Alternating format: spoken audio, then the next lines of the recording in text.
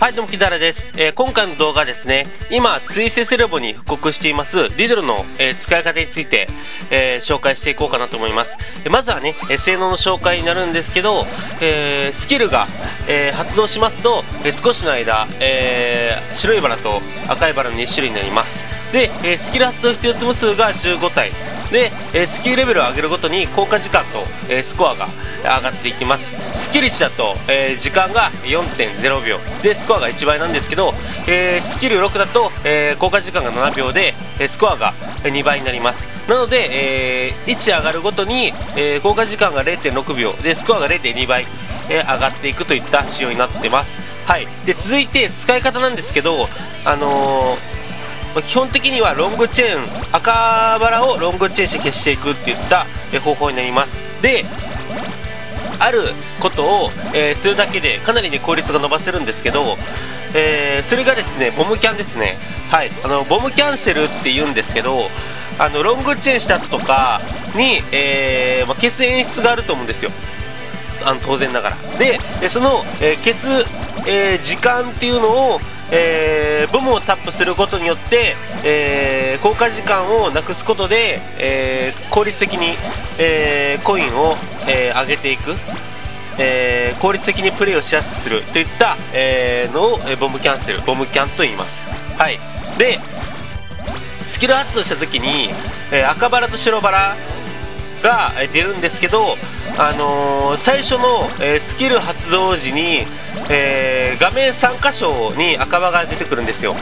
で、えー、そこで、えーま、スキル3から上だと大体、えー、その3箇所がつな、えー、がれる状態になるんですよねロングチェーンで。でその場合はもうつなげた時に、えー、ボムキャンセルで消していただいていいんですけどスキル12の場合だとほとんどの場合、えー、途中えー、白バラが、邪魔して繋がらないんですよ。なので最初のうちは、えー、スキル発動して、えー、開始した時にあのその白バラを先に消してから繋がるようにしてボムキャン、えロングチェーンでボムキャンで40消去ぐらい。を、え目指せばいいのかなと思います。ちょっとプレイ戻すんですけど大体あここからって分かりやすいかな。ここでってこれだとあの、まあ、これスキル4なんですけどもうこんな感じで白バラが、えー、もう完全邪魔をするんですよね。なので先に白バラを消して、えー、ロングチェーン。で大消去を狙ってコインボーナスで稼いでいくっていった仕様ですね。はい。でその後はもう完全にこれ2分の1の確率じゃなくて大体まあ5分のまあ、3か4あたりで、えー、白バラ。であと5分の1か2ぐらいで赤バラになってるんですけど、まあ、とは赤バラを、えー、効率よくもうできるだけロングチェーンにつなげていくっていった形です。はい。まあ、2分の1なのかな、まあ、3分の2ぐらいなのかな白バラは、まあ、ちょっとやや白バラが多いんですけどそういった仕様になってます。はい。で、まあ、ロングチェーンでモモキャもそうなんですけど、当然ながら、ま、詰まってしまうんですよ。やっぱりプレー中。赤バラが完全にもう綺麗に落ちてくるわけじゃないんで。なのでもう両敵の方はねもう普通にショートチェーンでもいいんですけどできるだけロングチェーンで。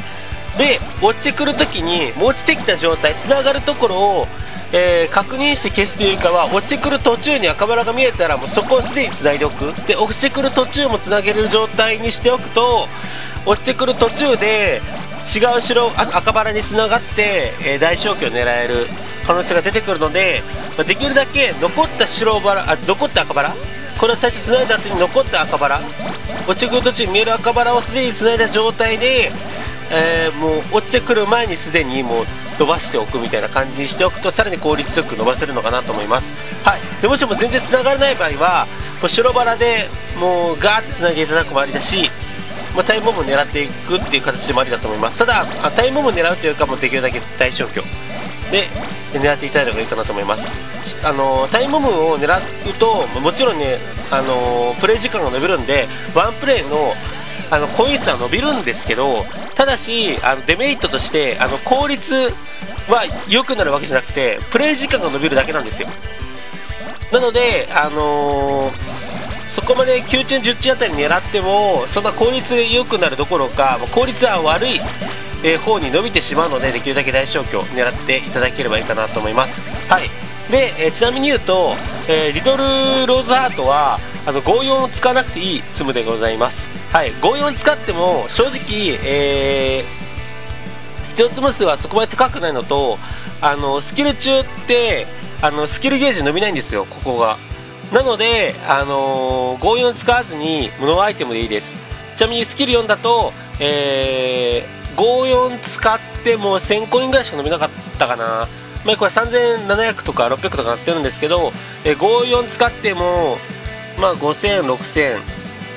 あ、ショートチェーンやってると7、8000ぐらい伸びるんですけど、ロングチェーンだと、まあ、1000コインぐらいしか、1000か1500かな、伸びなかったんで、えーまあ、ノーアイテムで全然いいかなと。スキル値でも、うまい方だと3000とか普通に、えー、稼げるので、ノーアイテムでいいと思います。はい。といった感じで、以上使い方の解説になります。よろしければ、えチャンネル登録と高評価お願いいたします。ご視聴ありがとうございました。バイバーイ。